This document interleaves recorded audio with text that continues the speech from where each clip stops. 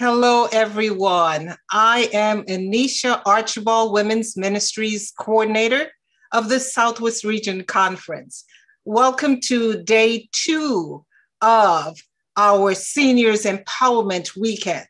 We thank you in advance for your cooperation in keeping your mics muted because we are live. We are focusing on the theme aging gracefully, finishing well. Now, have you ever considered the millions of senior men and women that have set examples of resilience for us to follow?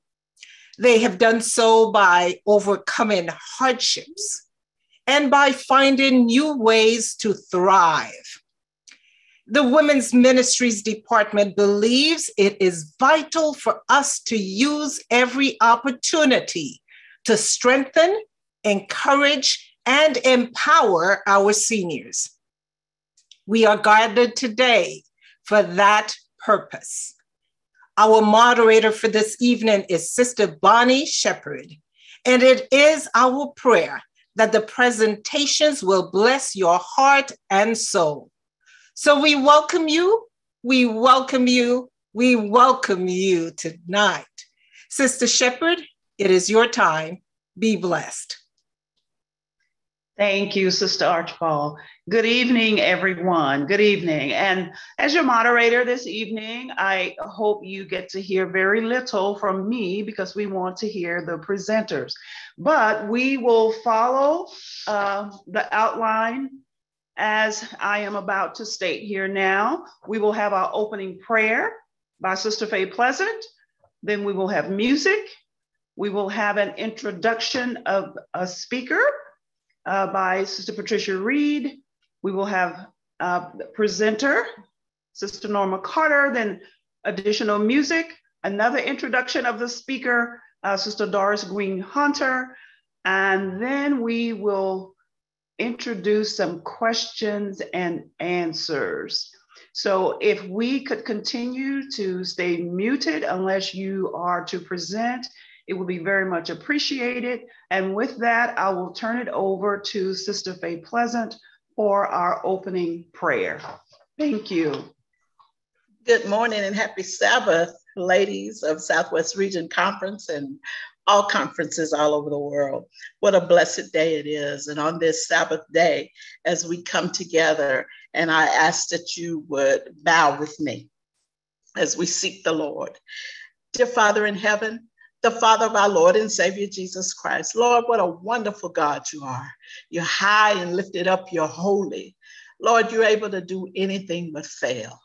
And we ask, dear Father, a special blessing from you that you would send down your blessings to our speakers this evening, our presenters, our moderator, anyone that's on the program, anyone that's just joined us, Lord. Reach out to the families of all the ladies that are on with us. And then bless, dear Father. Touch as only you can. If someone's sick, Father, I ask for healing. If someone is weak, Lord, I ask for strength if someone is tired, give them a touch of your love, Lord. May your Holy Spirit go from heart to heart and breast to breast as we're here on the lines together, that we would all know and remember that God has been here with us. Thank you, dear Father. And Lord, when time shall be no more, may you come back and find us watching, waiting, and working. For it is in Jesus' name that we do pray. Amen.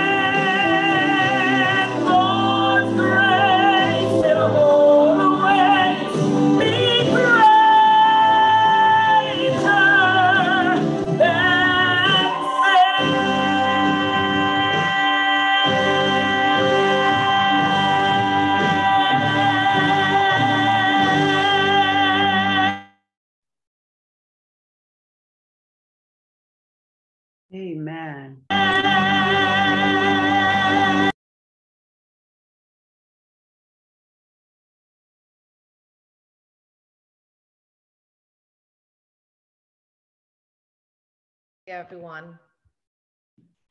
I have the distinct pleasure of introducing our speaker this evening. Norma Carter, the daughter of missionary parents, was born in Jamaica. She spent her formative years not only in Jamaica, but in the Bahamas and Cayman Islands. After graduating from West Indies College, now Northern Caribbean University in Mandeville, Jamaica, she relocated to Toronto, Canada, where she met and later married Wentworth Carter.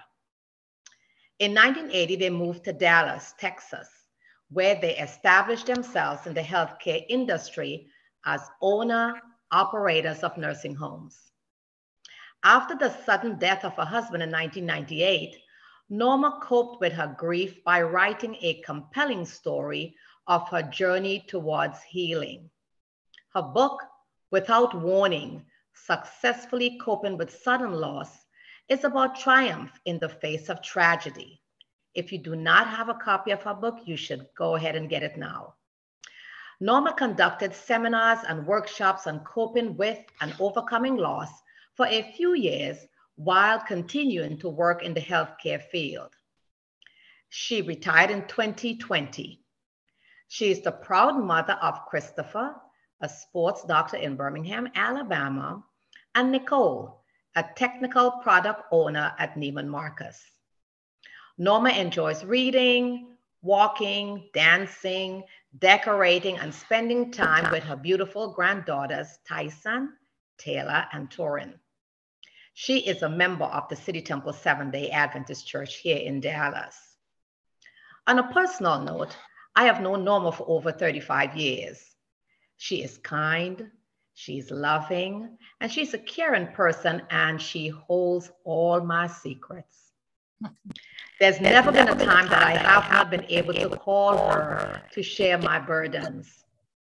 I have cried countless times while speaking to her, and she has reminded me that God's got this in so many words. She loves spending time with her grandbabies, and often we talk about how it's hard at our age running behind the little ones. She is the type of friend who tells you when you're wrong and will tell you when in, a, in many instances when I need to take the high road, which most often I respond by saying, Norma, I'm going low. I am honored to introduce my friend, my sister, Norma Carter.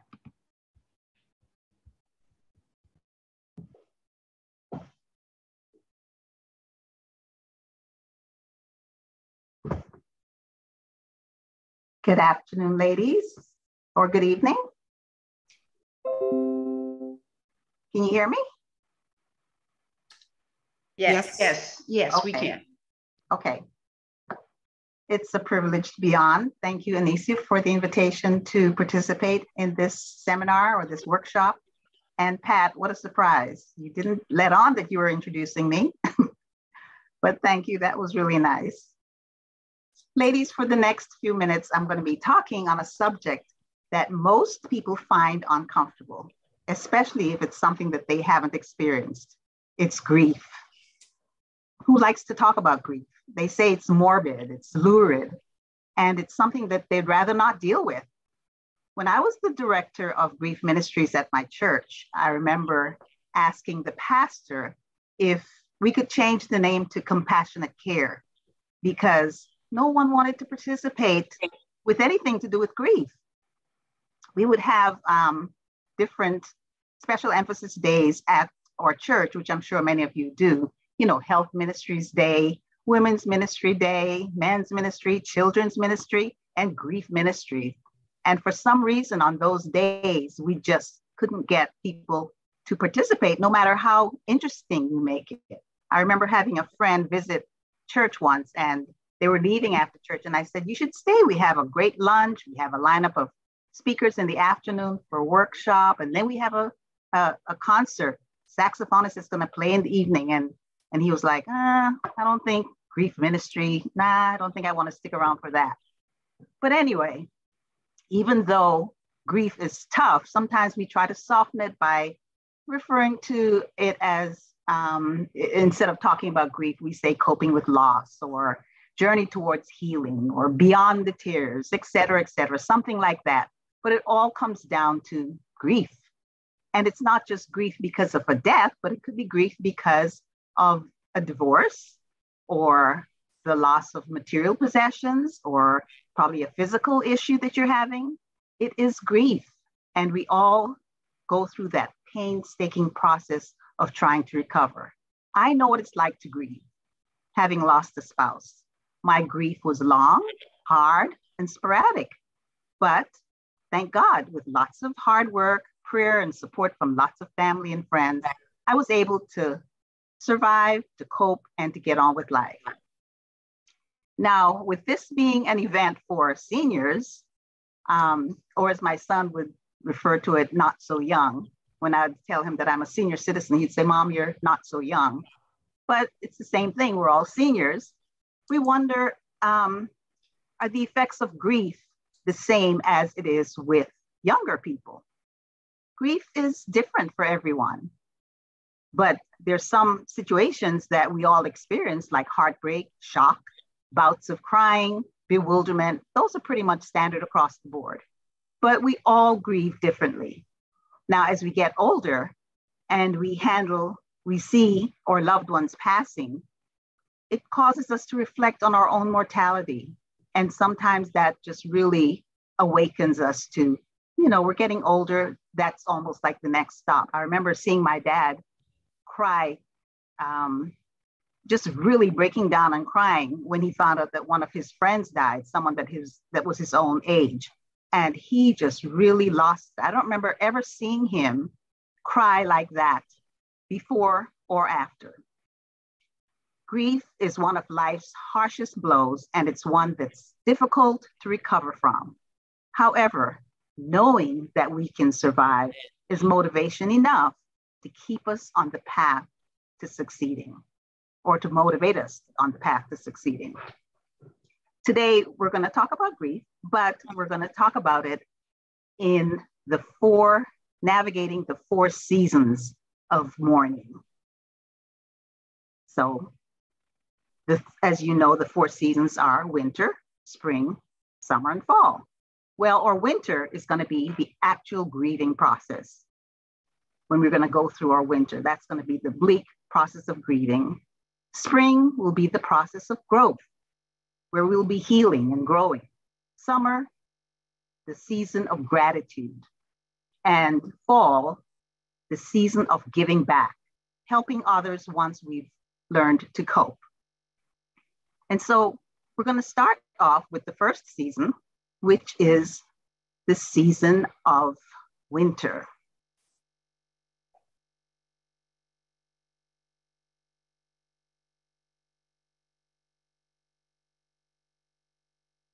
Winter is the season that's most unpopular with most of us because it's cold and it's freezing, icy with blizzard conditions, heavy snow, and freezing rain a lot of these conditions can be life threatening if we're not prepared or if we're exposed. The months can seem long, depressing, and unending, as if we may not able and we may not be able to go outdoors or just unless we're really covered up and bundled up. And so we stay in and so we're depressed. I know the winters in Texas aren't as bad as those up north, where the temp, but the temperatures are pretty high sometimes, and there's a bone chilling temperature that is enough to just keep you bundled up inside. I know that uh, I, have experienced really um, severe winters when I lived in Canada. And I'm telling you, sometimes I remember being on the waiting for a bus to go to work, and the tears in my eyes would be frozen. And I would just feel as if I couldn't move because everything was just frozen in place. Well, sometimes grief is like winter. After losing lost one, a loved one, it's emotional tundra that leaves us feeling heartbroken, devastated, as if you're on ice, free falling without anything to grab onto. It's pain, it's anger, just a plethora of emotions. I believe the loss of a loved one who has given our lives meaning and value can truly rock our world and devastate us.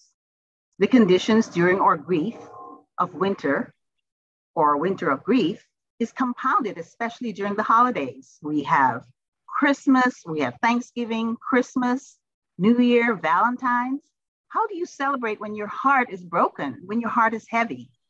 There's a, a, um, a winter onset seasonal active affective disorder, otherwise known as SAD, that is a major subtype of depression that we can suffer through in the winter we go from it starts out mild and it becomes more severe and it includes things like irritability, tiredness, low energy, oversleeping, and other feelings that can complicate our ability to cope with the grief. These are normal stages. And I just don't want anyone to think that you're losing it because they're normal stages that most people have to go through.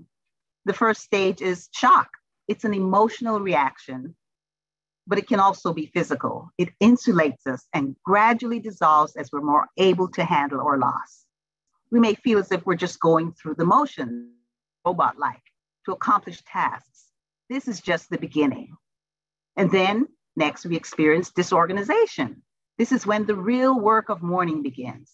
We begin working towards accepting the loss, the reality, and we feel the need to talk about our loved one over and over again as we go through our emotions. We have physical and emotional fatigue, and it's a time when we feel deep despair, when we rely on others to comfort us and provide a shoulder to cry on and a helping hand to help us to function. But you know what? There's hope because there's another season that's coming up the season of spring, the season of growth. As spring is a period of renewal, so is this task. Spring is one of my favorite seasons because everything is fresh, budding, and new. It's a time of rebirth and awakening. This season creates happiness, motivation, and positivity as it paves the way for new beginning.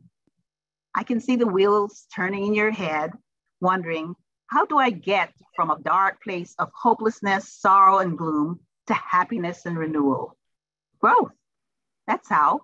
With God's grace, self determination, along with love and support of others, we grow. One of the most important components in this growth is God's grace. It's a spontaneous gift from God.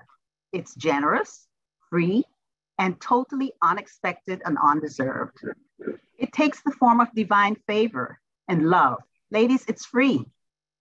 It's free. It's like spring showers on a thirsty soil, producing green, lush foliage and beautiful flowers. It's you peeking out from under the covers of despair, determined to get up and start your day, putting one foot in front of the other. It's utilizing all of the support you received from loved ones as you utilize your inner strength to begin that growth. How does tragedy completely devastate one person while making another strong? Why do some people successfully heal while others remain shattered and snap under pressure? I believe that circumstances are something that we have absolutely no control over. However, the one thing that we can control is our attitudes. And attitudes are a result of the choices that we make. We can either choose to remain shattered, or we can confront the lessons of grief, painful though they may be, and treat them as opportunities for growth. When we have the courage to do the latter, we have opted for a triumphant survival. Abraham Lincoln said, always bear in mind that your own resolution to succeed is more important than any one thing. There's no question that life will deal you a lousy hand. It will. The only question is how will you respond when it happens? How will you respond? That's your choice. During your period of growth, some days you may feel strong and courageous, other days down in the dumps. But thank God for his promises outlined in scripture for us. He says in Isaiah 43 2, when you pass through the waters, I will be with you, and through the rivers, they shall not overwhelm you. When you walk through the fire, you'll not be burned, and the flame will not consume you. Grief can be character building, morbid, as morbid as that sounds. Sometimes it resurrects a sleeping energy or a strength is aroused when unknown talents are recognized and when a clarity about life's purpose and direction becomes keener. Also, a strong sense of compassion is developed.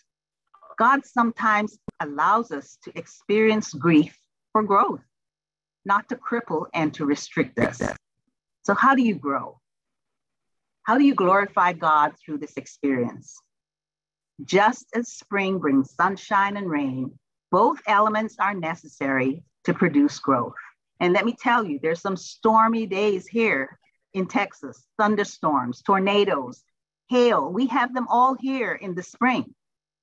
And as with grief, we may get a weather alert. You know, we may get a, a text saying inclement weather forecasted. With grief, we may think that someone is on their um, deathbed and, uh, you know, we'll lose them any moment. But when it happens, we're never prepared, no matter how many times you think death will bring relief from suffering. When it happens, we just are never prepared. And when we go through it, we think it'll never end. It's just unnerving and scary. One thing is certain, though, and that is the storm will end. It won't last forever. And there's usually an unexplainable calm following a storm. Out of the darkest black clouds, God can cause crystal raindrops to fall. And the most beautiful sunsets come at the end of a cloudy day. Do you ever have you ever been in a storm where you notice that it's just been torrential rain or even a tornado, and then there's this eerie silence at the end? There's just unbelievable calm that happens. The story is told of the great violinist Itzhak Perlman, who was performing one night at the Lincoln Center when one of the strings of his violin broke in the middle of his performance. Everyone thought he would get it fixed or find another violin to complete his piece. Well, he did ne- neither. To everyone's amazement, he kept playing with such passion and resonance. The audience was stunned, and there was an utter look of absolute amazement on their faces. They all knew it was impossible to play a symphonic work with only three strings. So, how did he do it? Perlman had changed and recomposed the piece in his head. When the applause subsided, he smiled, wiped his brow, and said to the audience in pensive tones Sometimes it's the artist's task to find out how much music you can make with what you have left. His entire life was, play, was spent making music with four string, four strings, I'm sorry, and then suddenly he found himself with three. And so he made music with only three. So it should be with us in a life riddled with sudden changes. We must make music with what we have left. After losing my husband, my kids wrote me letters one day uh, when I was really despondent to encourage me and cheer me up. And I remember the letter from my then 17 year old son, Chris, that he said, What once was a square must now develop into a triangle. Instead of four parts, we now have three. Dad will always be in our memories, but now more than ever, we must come to bed together and be a three figured unit with a strong base, common points, and straight level lines. He said, You, mom, are that strong base. Throughout this ordeal, you've been there for Nikki and me. We must have common points and be on the same wavelength. It's essential that we stay level minded, and at times it's hard to concentrate, but we must continue on and be successful. Dad would want it that way. We had to take what life dealt us and use it as an opportunity for growth. So can you. Grief is like a heavy backpack. It doesn't get any lighter. You just get better at carrying it.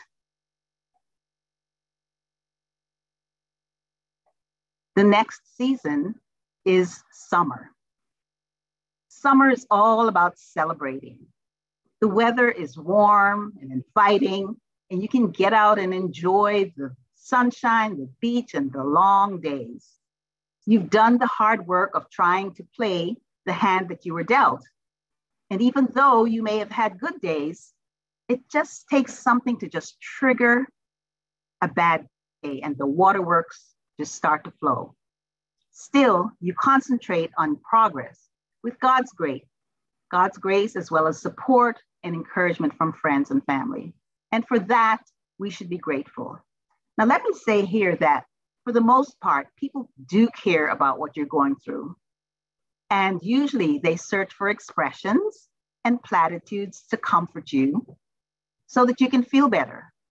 They are trying to be supportive and encouraging. Shakespeare says, Everyone knows how to master grief, but he who has it. Everyone wants to tell you how to feel better, not having a clue how you really do feel. And they'll say all sorts of things, some of them a little bit inappropriate at the time. It may be true, but at the time, it's not something you want to hear. Things like, you'll be fine, you're strong, You'll get over it. You can marry again if you've lost a spouse, or you can have another child. They're attempting to comfort you, but alas, it's just not making you feel any better. And then there are those who just won't say anything.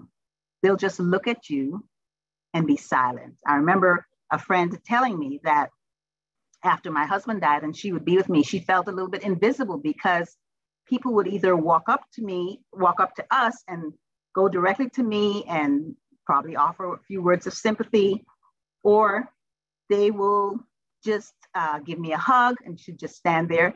But she said what was tickling to her was the people that would pass by and just give me the puppy dog look. And she would actually show me how they would just give you a sad look. But you know, it's true, things like that does communicate to you how people feel. Without having to say a word, you can give a touch, a hug, or a sympathetic look that communicates, I care, I'm sorry, I'm here for you. Here's some strength of mind to go on and some love to energize you. Jesus could have healed so many just by speaking it into existence, but so often he stretched out his hand and his touch had power enough to heal those who needed healing. So give yourself permission to accept condolences as it is given and respond with gratitude. You may not feel like smiling or being warm and fuzzy, but you can say thank you and probably send a note or a card when you're feeling better. Remember, it's a new experience for both of you, and there's no book that you or textbook that you study prior to the loss that gears you up for how you should respond to someone. People just react and they really mean well and just know that it's coming from a good place. So don't waste your time being emotional and getting upset. Just respond with gratitude. Remember, you have a lot on your plate as well. People may show up to bring a meal or to help you with the kids. The fact that they show up just says a million words. When you show gratitude, you express your thanks and you shift your focus from your head, which triggers grief and anxiety, to your heart. Feeling the optimism associated with gratitude may also give you the ability to manage your stress, while coping is a lot easier. When you show gratitude, you express your thanks and shift your focus from your head to your heart.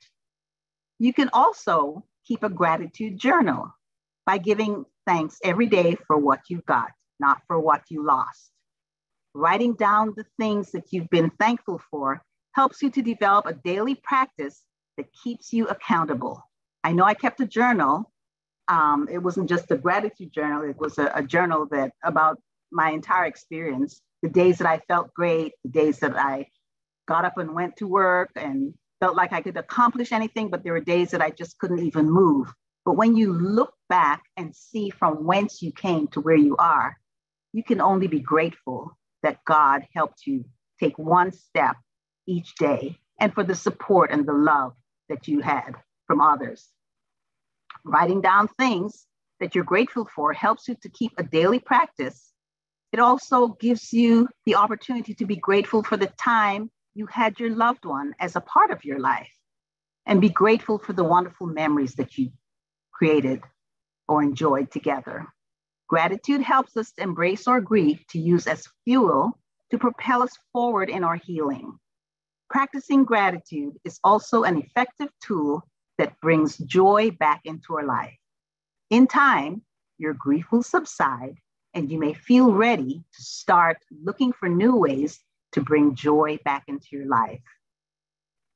Finding a new sense of purpose after a significant loss may help you heal from your pain. The season of summer is about nurturing and being grateful for the growth that you experienced during your spring due to the bleak grief of winter once you've navigated those seasons, the next is the season of fall. Fall is a season of spectacular colors on the trees. hues of gold, orange, brown, yellow, caramel, and other, other beautiful earth tones.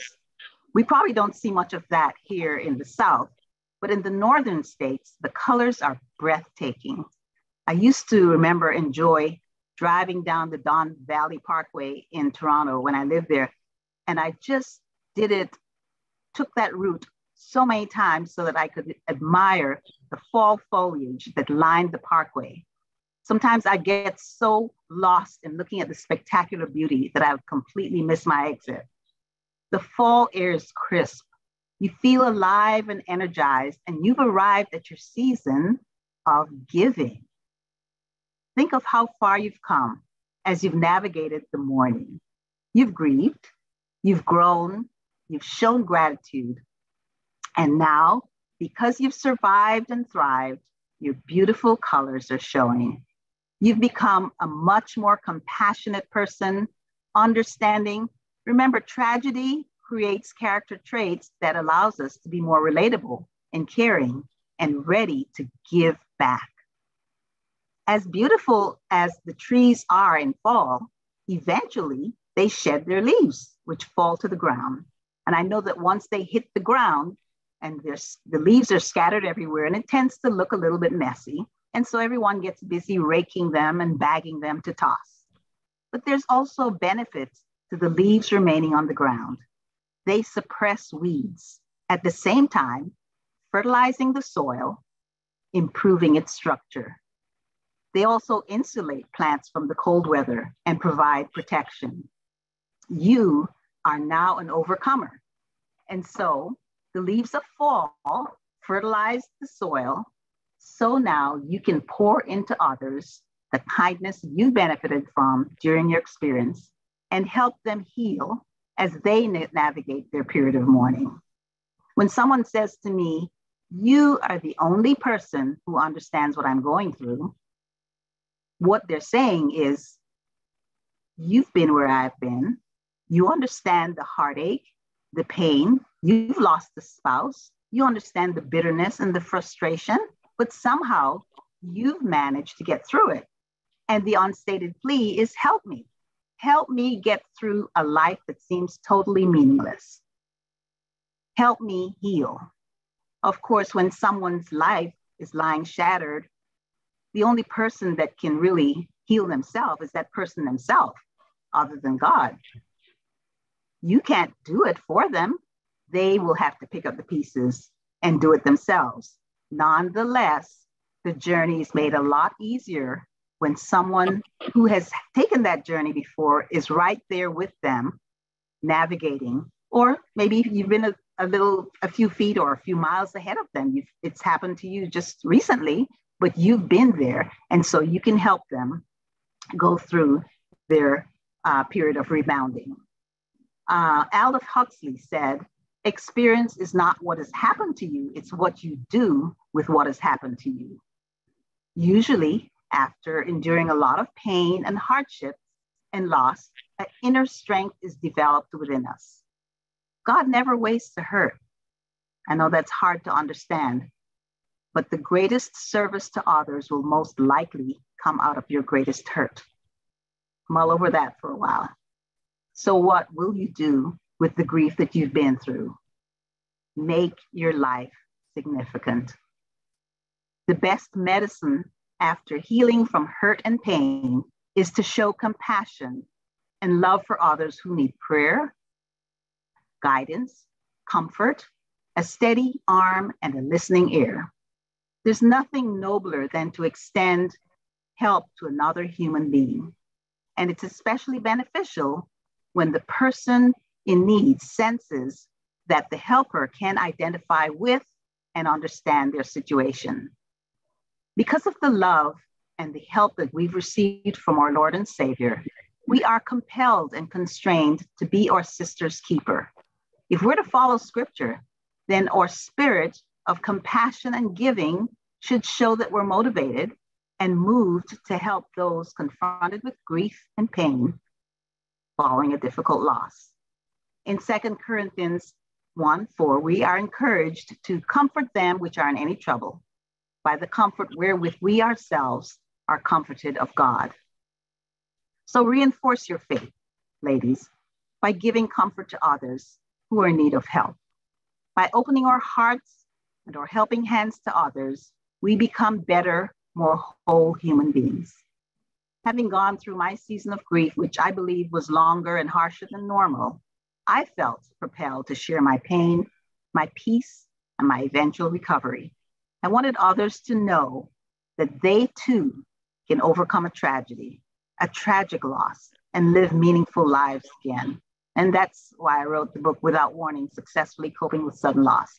This was during my period of fall, the period when I had gone through the extreme grief when I was grateful and I began to grow and I was grateful and I felt that I was in a position to help and give back to others. In closing, I hope what each of us takes from this is that as we navigate our seasons of mourning, it's that we allow ourselves a time of winter to experience the grief in hope that spring, the growth period, will follow and that our summer will be filled with moments of gratitude as we prepare for fall, when we'll give back to others needing our help. and as seniors, aging gracefully and finishing well, I hope and pray that each of us will make each moment of our lives count as we take time to smell the flowers, enjoy outdoor walks, socialize with and appreciate our family and friends, and live life to the fullest. Amen. Amen.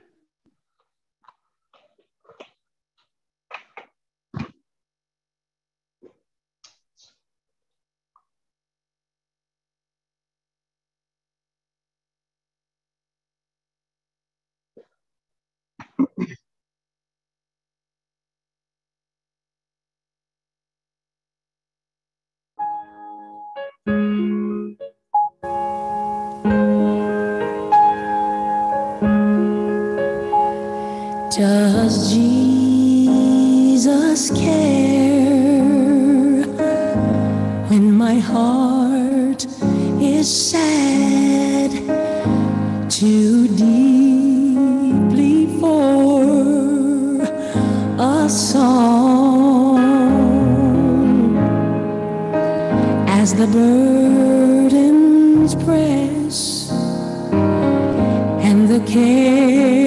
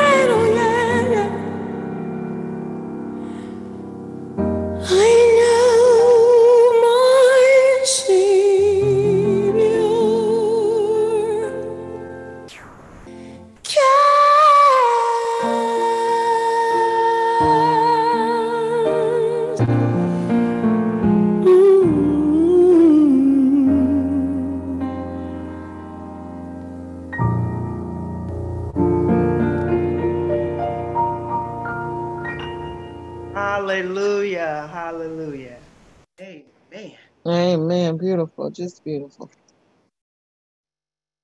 What was her name? Teresa Morton. Teresa Morton. Thank you. Hey. All right, Sister Gwen Brown. You're Hello. Hello. My name is uh, Gwen Brown, and I'm from Shiloh here in Little Rock. And I'm introducing our next speaker, which is um, Elder Doris Gwen Hunter. Elder Hunter is a native of Trinidad and Tobago. She received her nursing education in the United Kingdom. After graduating from nursing and midwifery schools, she completed her training in neonatology and obtained a certification in, in that specialty. After which she immigrated to the USA upon, recruit, upon recruitment by Arkansas Children's Hospital in Little Rock, Arkansas to join their neonatal program.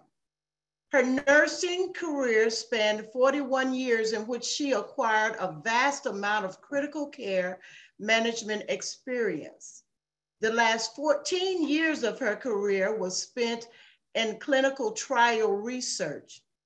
She worked as a research nurse at the University of Texas Medical School in Houston, Texas, in, stroke, in the stroke program and MD Anderson Cancer Center there in Houston as well, where she managed uh, phase one and phase two clinical trials in the area of liquid tumors such as leukemia and lymphoma. She returned to Arkansas in 2013 and continued clinical trial researches in the um, Myeloma Institute at the University of Arkansas for Medical Sciences. She managed multiple trials in the myeloma supportive care, and she is a contributing author in a major article entitled Influenza, an Outbreak in an Ambulatory Stem Cell Transplant Center. Transplant Center, I'm sorry. She remains, uh, she retired in December of 2017, and uh, she remains very active in her retirement. She is now a certified health coach with a specialty in adults and seniors. She is currently in advanced training for certification as a master health coach, and her graduation date is projected for May 22nd of this year. She also has a certificate in health evangelism.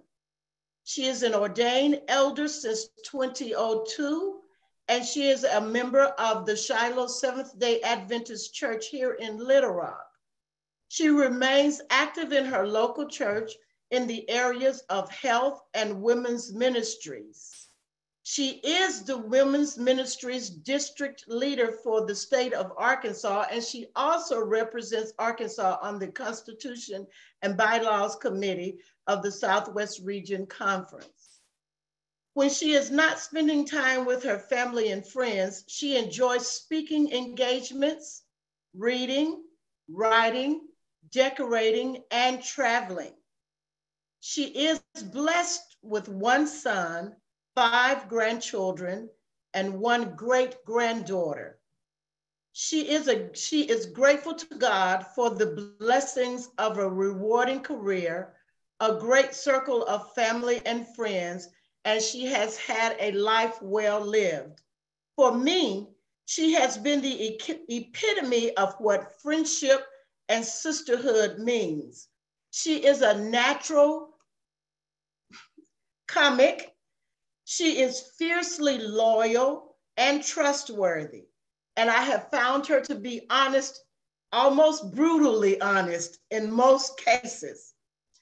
Her love for Christ is unwavering, and she has a very deep desire for his people to grow spiritually, emotionally, as we all await his soon coming.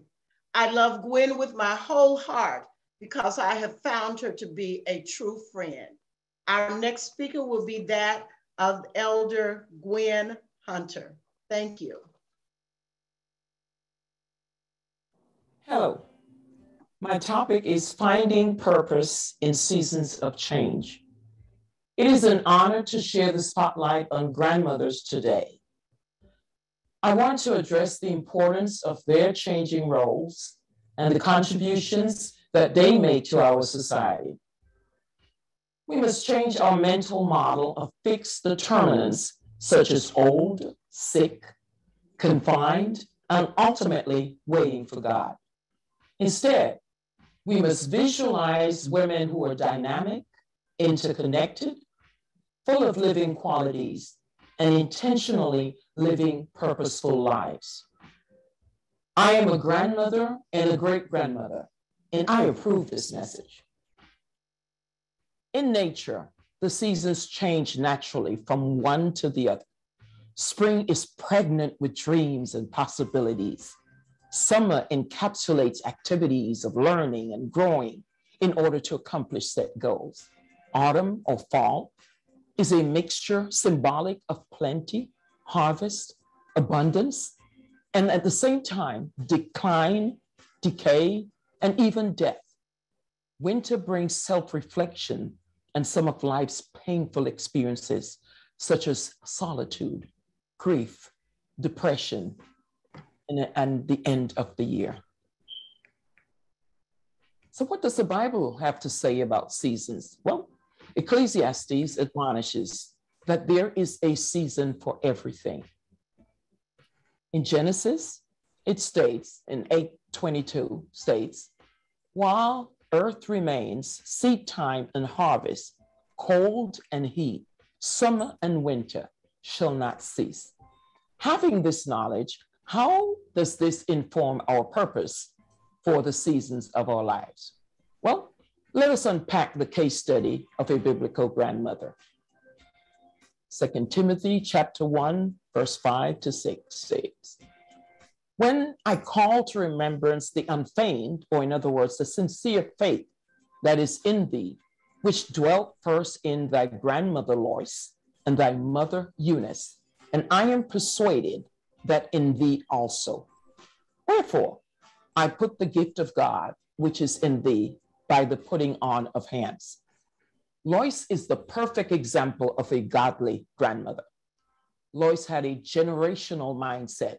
She cultivated faith in her daughter, but did not stop there. She continued working and investing in the next generation. She discipled her grandson, Timothy. We are mandated by God to teach our offsprings. Deuteronomy 4 9 says, Only be careful and watch yourselves closely so that you do not forget the things your eyes have seen or let them fade from your heart as long as you live. Teach them to your children and their children after them.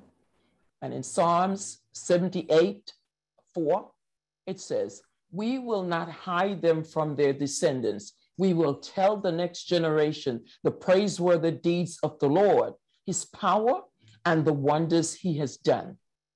Outside of parents, grandparents have the most influence on grandchildren. Therefore, we cannot declare that a work is finished and leave the discipline of our grandchildren to others. Grandmothers, would you say that they're unsung heroes? Well, let's check. Let's look at some of the responsibilities that grandmothers are tasked with. Childcare providers for their working children so that they, the children, could advance their careers and have balanced work life experience. First line caregivers to their orphaned or abandoned grandchildren. They also advise young women on healthcare issues grandmothers are the largest source of ch- child care for working women. In Italy and Greece, that number is about 50%. Grandmothers are having to rearrange their working schedules to care for their grandchildren, which in fact results in additional loss of income and reduced pension. What are the roles of grandmothers then? In both developed and developing countries, they may differ, but they're crucial to their families nonetheless. What are the values of grandmothers as it relates to in-kind agreement? Grandmothers are called upon to make many sacrifices. Therefore, are they truly empowered if they must sacrifice their freedoms without some type of in kind agreement with their children based on the expanded roles that they are performing? They are caregivers, teachers, mentors, historians, spiritual leaders, and not to mention the wealth of social and life skills that they bring to the table.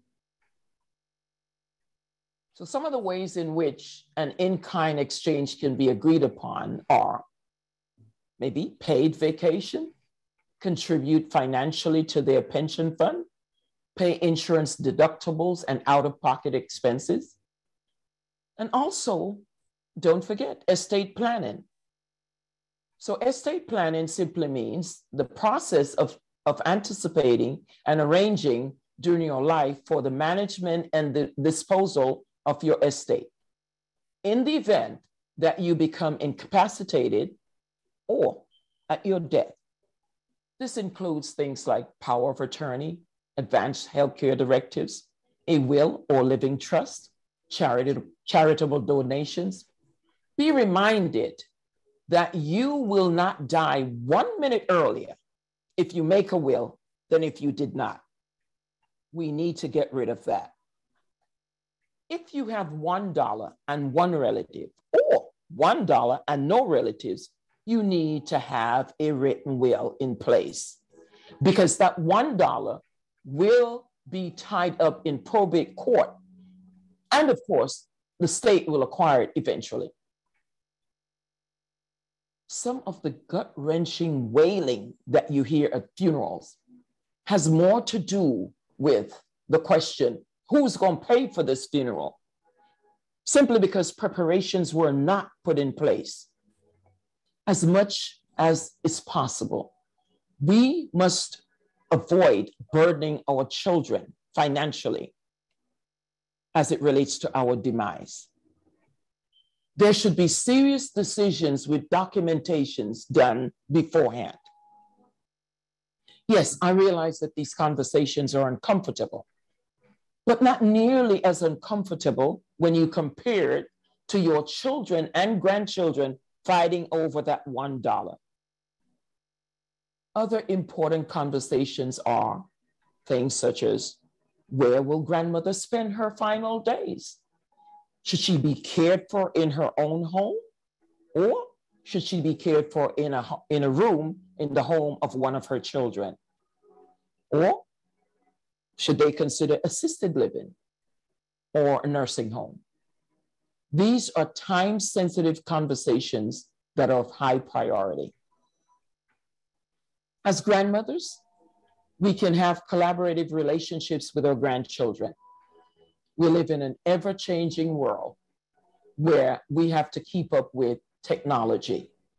It becomes necessary to depend on children and grandchildren to educate us, I mean the grandmothers, so that we can stay abreast with the very basics. There are different video platforms that can be utilized, such as FaceTime, WhatsApp, Zoom, to name a few. If the pandemic taught us nothing else, we have learned that social isolation is no fun. As we safe distance, it is direct and, and it directly impacts our mental health. Being able to see and verbally interact with our grandchildren is a great source of comfort. Some of us have knowledge gaps in the area of technology that our grandchildren can help us with. We can share our knowledge with them and our skills and strengths that we possess, we can exchange that for their tech savvy, I mean, their tech savvy and other interactive games that they can help us to sharpen our minds with. I want to talk a little bit about blue zones. Blue zones are areas of the world where centenarians, people who are one year, 100 years and over, live and thrive. It is important to note that they thrive, they don't just live. Some of us think that as we get older, we should just barely get by. I don't believe that is what God wants for us. We should not just exist, but we should thrive in our existence. There are five areas in the world that have this des- designation, blue zones. Okinawa, Japan, Sardinia, Italy, Nicoya, Costa Rica, Icaria, Greece, and Loma Linda, California. There are commonalities among centenarians.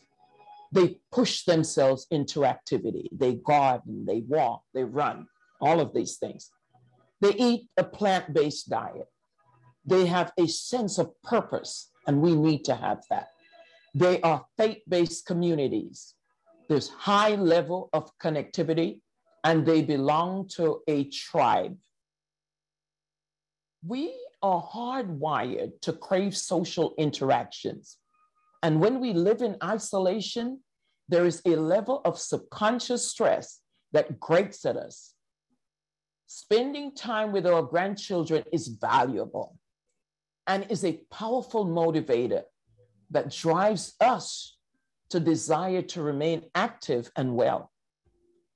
We must reframe negative statements such as, I am sick and tired of being sick and tired.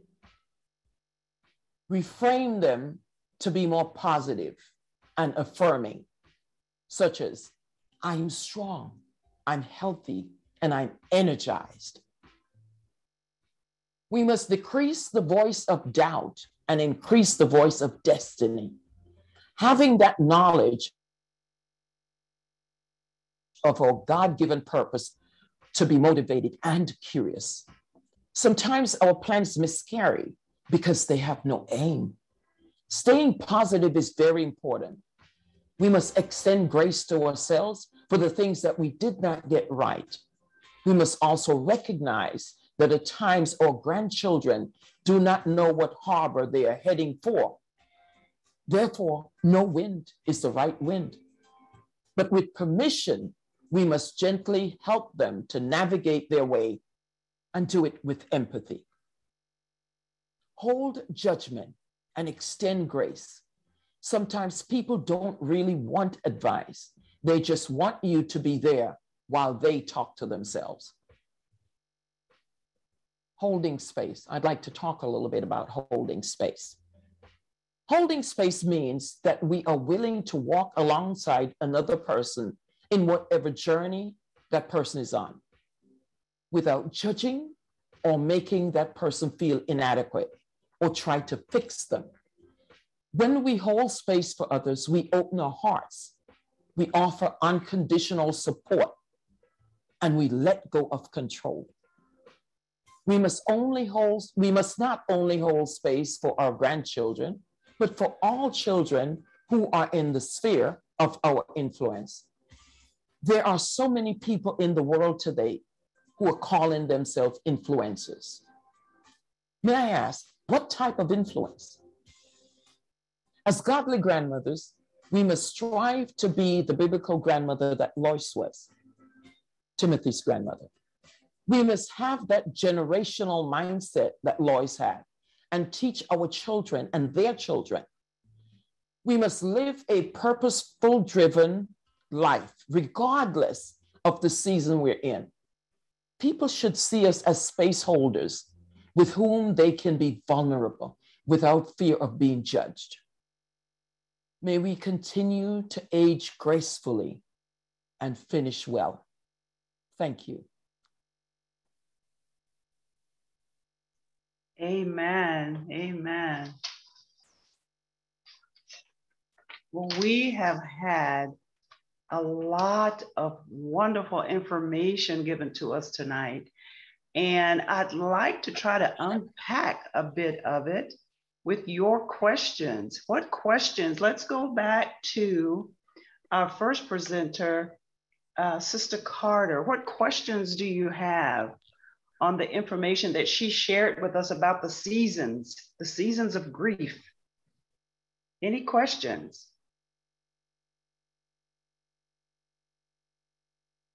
I wanted to um, say um, with the the grandparents, um, uh, the grandmother is grandparents as well. Uh, my husband was listening to. Uh, he's he, he's not. Uh, he was just wondering why they didn't say anything about the grandfathers too. but yeah, we were both listening to that, and that was very informational about the wills and things like that. So, um, uh, power of attorneys and, and all of that information is, is good to know. Amen. Thank you. Thank you. Thank you. Any other comments or questions? I have a question, and okay. it is uh, regarding the grief. Okay. Uh, okay. Sister Sister Norma, in the season of grief, how do you tell um, your friends and loved ones that you have not gotten over that grief and stop expecting you to get over it yesterday? That's a good question. Now, you can be tactful or you can just um, tell them how you feel as you feel it, as you're feeling it. Because the average American expects you to be through with grief in three months. And for most people, especially after a sudden death, it takes up to seven years sometimes. I remember uh, shortly after my husband died, and we had a business to run. So when he died, everything just fell on me and nothing stopped the day he died, nothing but his heart. And so life went on. So I had to keep working. And I remember coming out of a bank one day after doing some business, and I met one of my employees, and she looked at me and she said, You know, it's time you start smiling again. You need to just, you know, not look so sullen all the time. You need to get over it.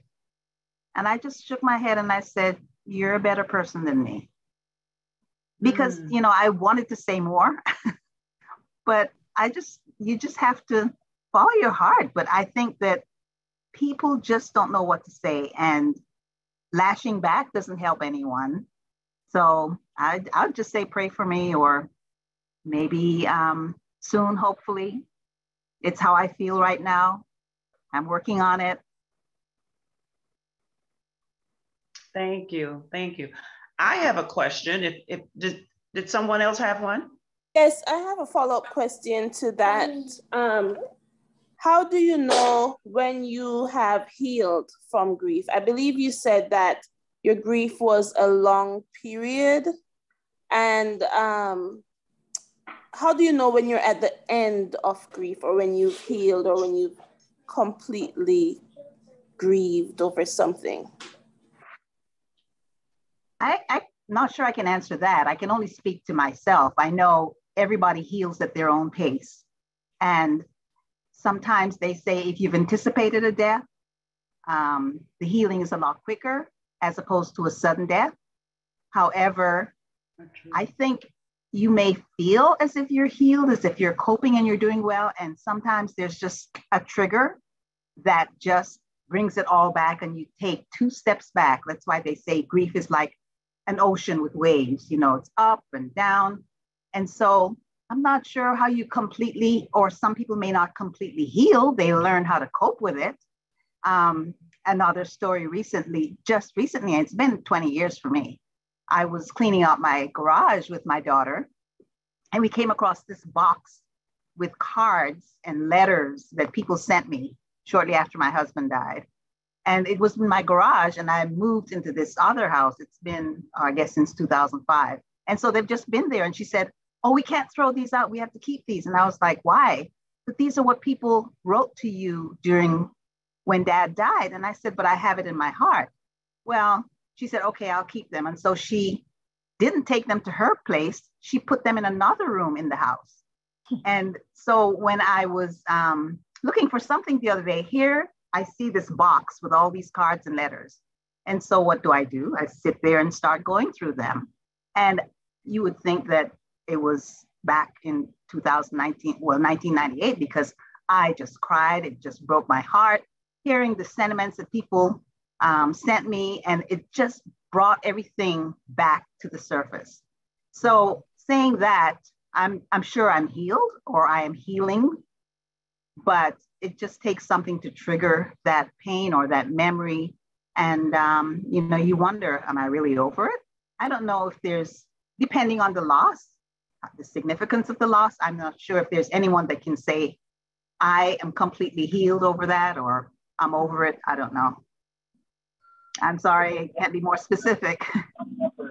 Uh, may I? I had my Miss, hand uh, raised. uh, My I'm hand sorry. I'm so sorry, Ms. Hunter.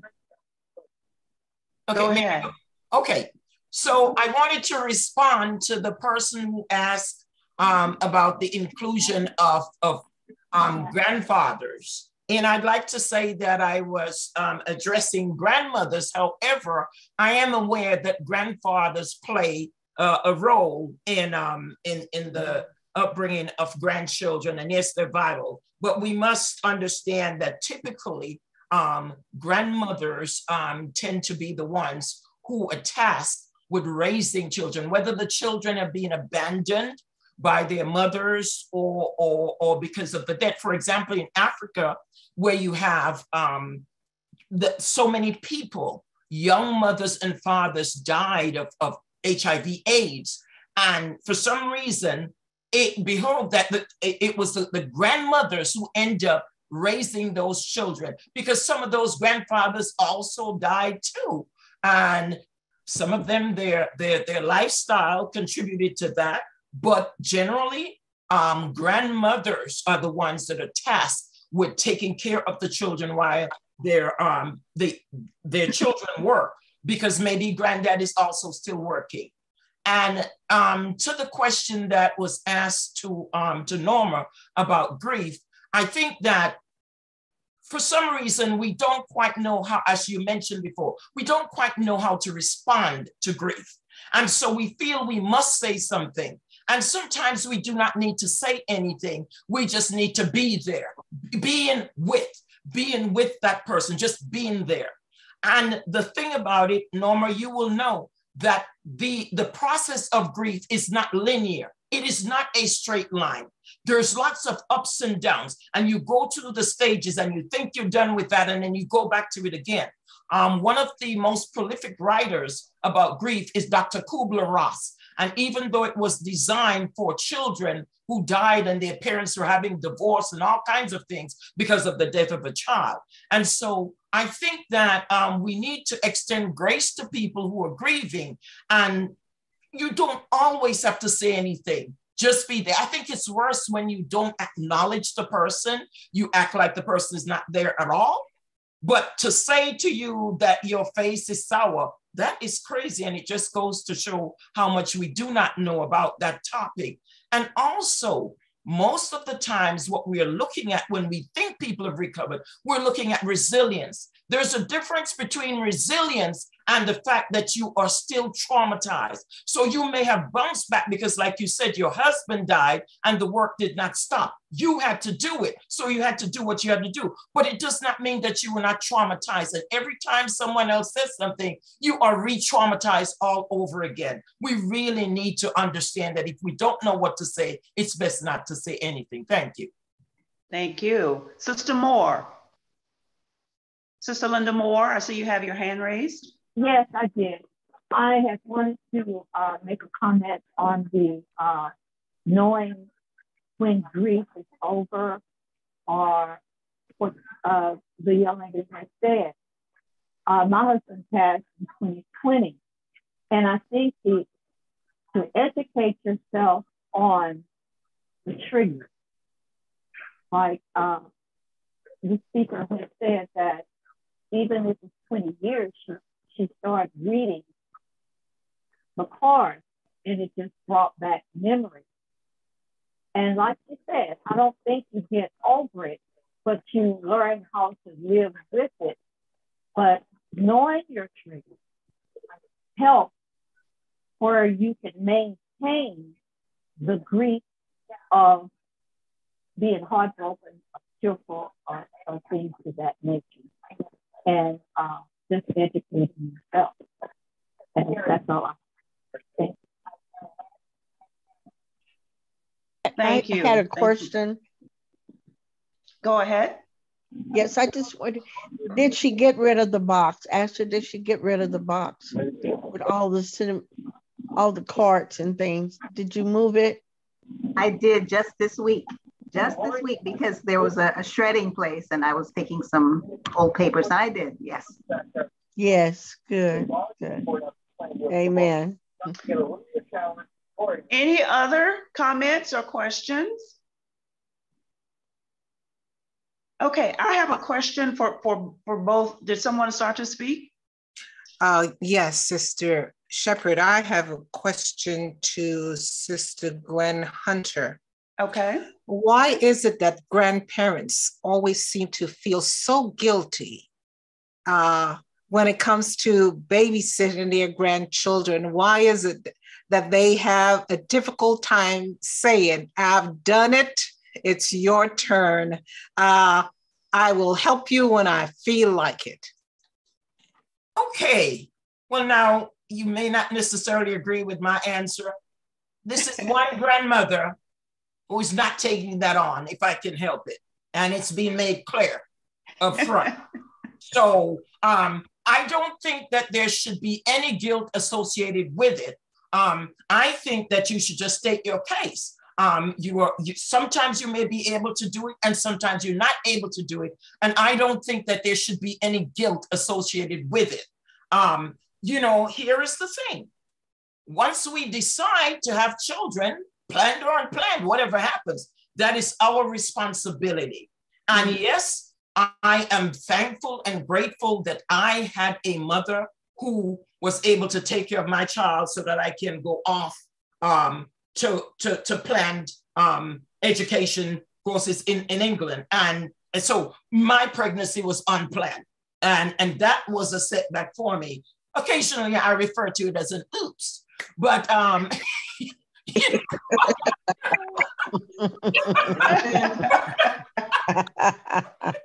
a big oops. Ah. a big oops. You're not the only one, Sister Hunter. Amen. One of those little oops that happens. But no, we have to we have to shoulder our responsibility. And don't get me wrong. I think that we should help our grandchildren as much as we can. But at the same time, I don't think that we should allow them to manipulate and take over our lives. And, and, and they're so entitled, this, this generation, all, all that entitlement. And I am not for that. And I let them know right away I'm not for that because I worked hard. I was thankful to my parents and I worked hard. And I was never sassing anybody and acting. They mm-hmm. want to sass you, they want to sass you, and then they want to bring your child, pull up at your door and ring the doorbell and their child. That's ah, right. Amen. That's right. You said it, sister. I'm 72 years young and I got a lot to do. Amen. Amen. Amen. Thank you.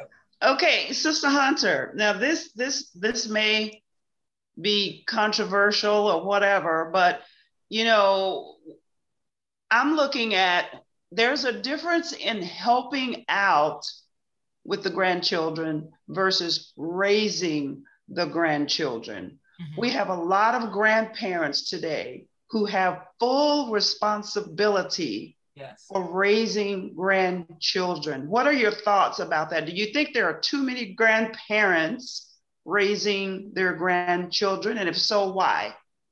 I, I, I have to agree with you. I think the statistics land on too many of them.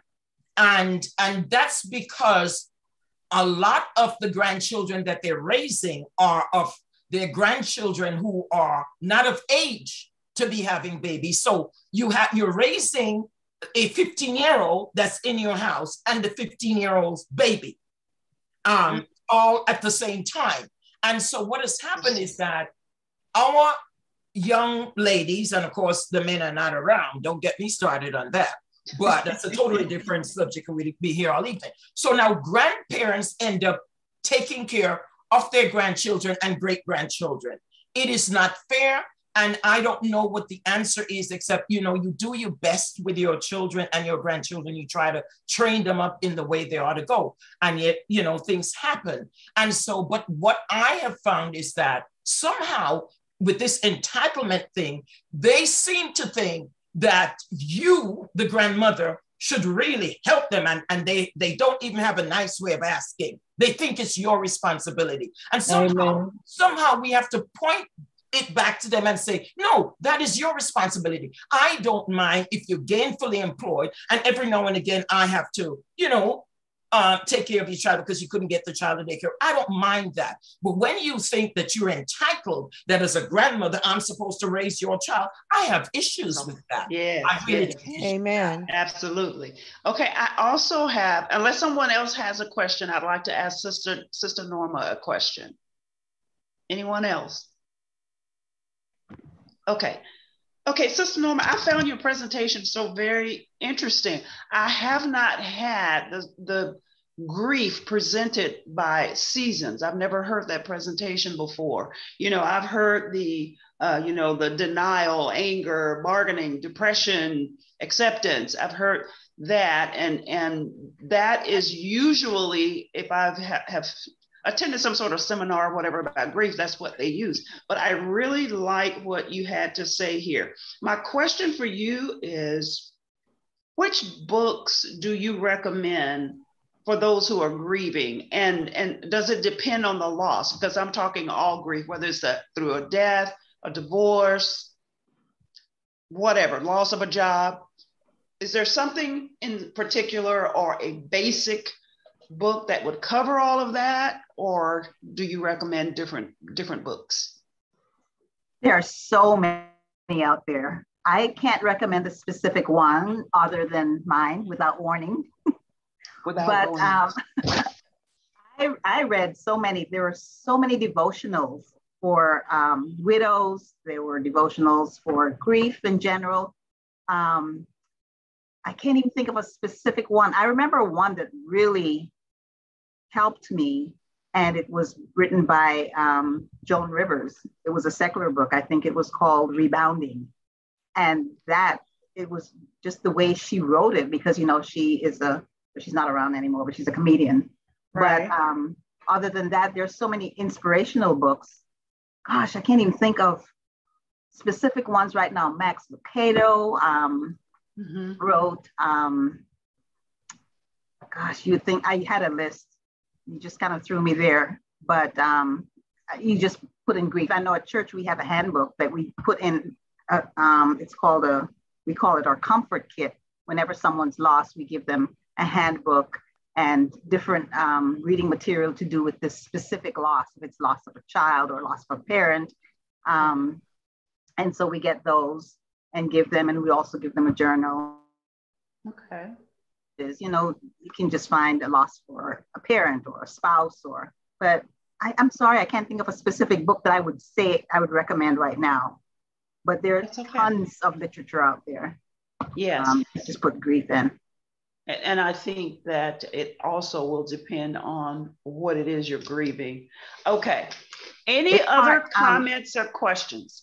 Let me just say here though, um, okay, grief to do with divorce is really hard to um, to help people with because you know they're so private, and even though the loss in divorce is sometimes harsher than loss of death, I've been told because you know you have to see that person that made a choice to to you know separate themselves from you, and if you're not along in the same vein, that grief apparently is really very heavy. But it's hard to I find even with our um, grief support, it's hard to to talk to people about divorce because they're so private and nobody wants to open up um, about their situation unless they go to a personal uh, um, psychologist or someone, a therapist that's going to help them. But we've had support groups at our church that we've asked people to come who are divorced, and very rarely do people show up. They don't like to share that in an open setting. Understand. May I add Uh, something? I see a hand raised. Uh, Langini? Am I saying that correctly? Yes, close. Um, thank you so much for having me. I'm in Georgia. Thank you for the young lady who invited me yesterday. I've been blessed. Thank you so much, ladies. I was wondering if there's any way how we can get all this information. Sister Archibald, can you address that? Is she still with us? Yes, just contact uh, the Southwest Region Conference Women's Ministries, and we will be happy to make those available to you. Thank you. Thank you, Sister Archibald. Well, I think we're, go ahead. I, I am, are you still talking to the other lady? So I just, no, South Conference, what? Southwest Region Conference. Region Conference. Women's Ministry Department. Okay, thank you so much. Very welcome. Good job. Uh, Sister Hunter, and then we will wrap up unless there's um, another question. I was going to um, just piggyback on what Norma was saying about the divorce um, situation. Um, before I was um, um, divorced, and she was my my friend Gwen who introduced me. She said to me at one point, she says, divorce is worse than the loss of a spouse. Um, she always said that the pain is so searing, and the fact that you still have to deal with that person because they're not six feet under. You have to see them, you have children, and you have to interact. And so it's so hard. But I think as it relates to the church, we have not found a way to address that. And that's something that concerns me that because we want to lump everything together as singles ministry. Well, there is there is loss and there is loss. And if you've never been married, the, what you feel about being single is totally different from someone who was married and is now single, or someone who That's had true. a spouse and the spouse died, or whatever. So we need to look at the root cause of what the problems are. And I will say that divorced people have different problems um, than your average person who's just not married or whatever. And for some reason, it seems like when we look at the church and how we're set up, we seem to give the idea, even if we're not saying it verbally, that divorcees are kind of on the lowest ring of the totem pole.